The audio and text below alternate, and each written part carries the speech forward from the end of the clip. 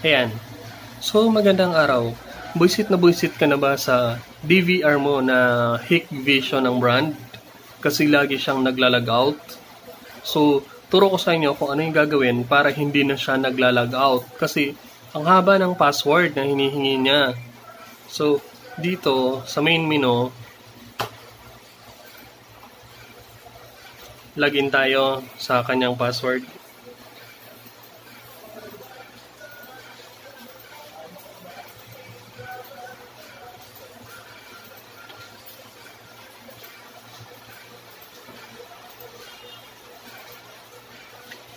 Ayan. So, nakalagin na tayo dun sa kanyang account. Punta tayo dito sa configuration, configuration tapos general.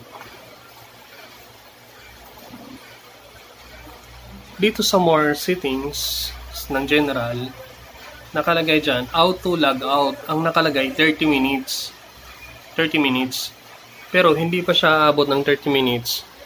Nag, nag, uh, out na siya. So, tingnan natin na Ayan.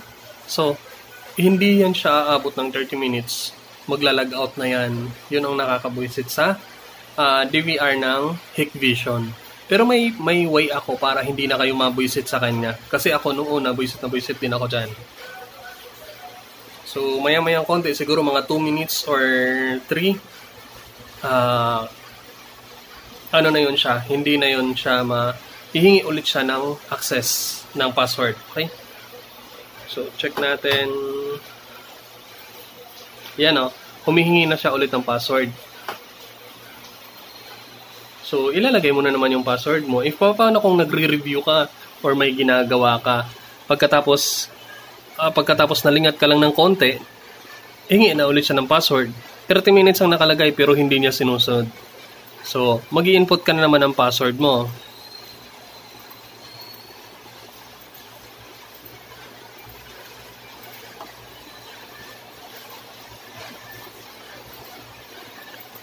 Ayan. Yung default password nga is Daniel627. So, ayan. Naka, nakapasok ka na ulit. Punta ka ulit sa main menu. Configuration sa baba. Tapos, General. Sa General, yan yung lalabas. May nakalagay dito. Language. Sa baba, nakalagay. Enable Wizard. At saka, enable password. So, naka-check siya. Kaya, uncheck lang natin yan. Yung password at saka apply. Ayan sa baba. Apply. Tapos, back. So, yan. So, yan. Hindi na yan siya hihingi ng password. Kahit kailan, pagka binuksan mo, hindi na yan siya hihingi.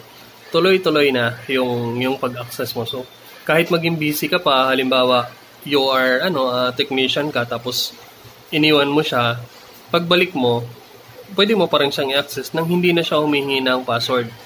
So, siguro magpalipas tayo ng few minutes para makita natin na hindi talaga hindi talaga siya, hindi na talaga siya hihingi ng password.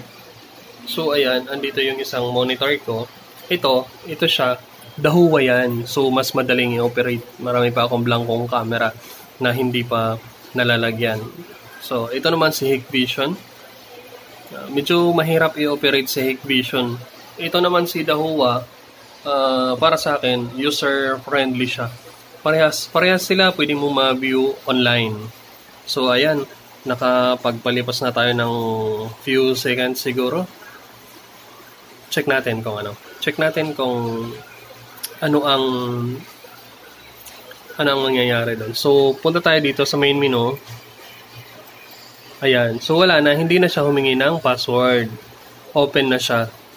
Pero, hindi hindi ko i-advise to doon sa mga nakaano. Okay lang to pambahay yung lahat allowed mag-review.